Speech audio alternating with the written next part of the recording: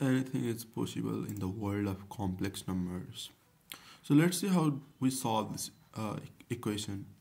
Basically, if we were dealing with real numbers, then 1 to the any real number power is always 1, which is why it's not possible to get 3. But if we are dealing with complex numbers, yeah, there are some ways we can find the solution.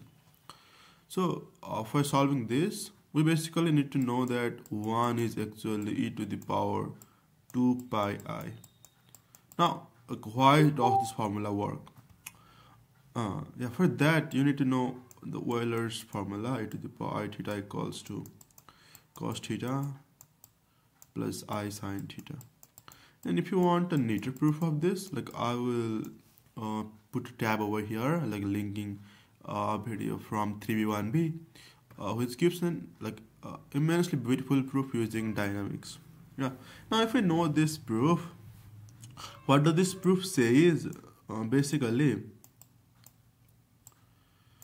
okay so this can also be written as cos theta comma sine theta. Yeah. Basically uh, because we have in the in the real axis we will have just cos theta and in the imaginary axis we will have sine theta. So basically cos theta comma i sine theta will be here yeah. And this implies uh, that this length is cos theta this length over here is sine theta and which is why uh, this point okay is represented this is represented as cos theta plus i sine theta. Basically this point and so we can also write this point as cos theta comma sine theta which is why I did that now cos theta is theta is just the coordinate like for angle theta. Yeah, we also know that. Now, and the length will be 1. So to find the length, uh, what you can just do is uh, find the length of this line itself. And the length of the line will be x square plus y square.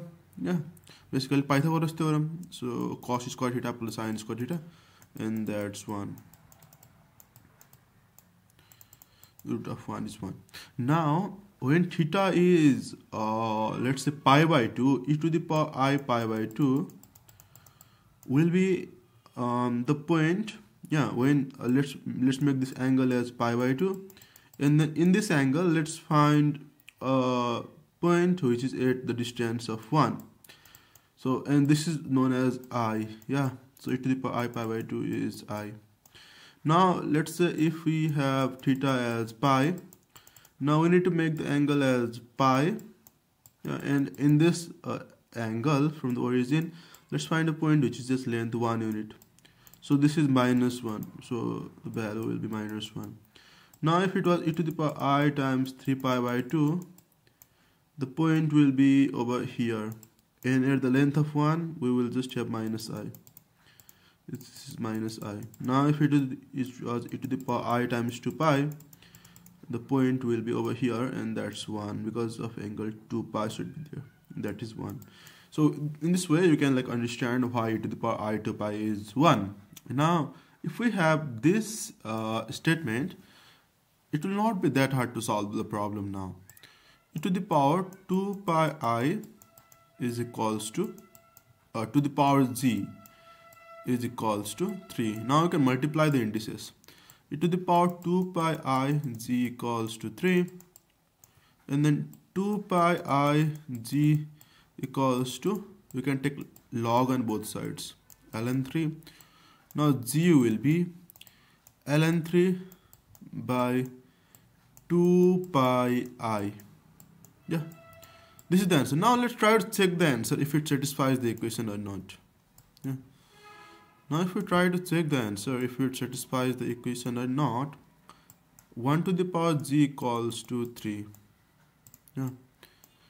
Now uh, g is 1 to the power ln 3 by 2 pi i is equals to 3.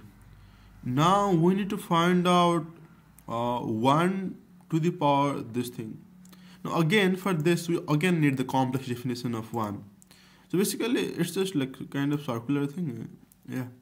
Now i is just e to the power 2 pi i. So these two cancel out actually. Yeah. This doesn't actually like make us seem the beauty yeah, because it's just kind of circular idea. And e to the power and 3 is just 3 so that's uh, true. That works.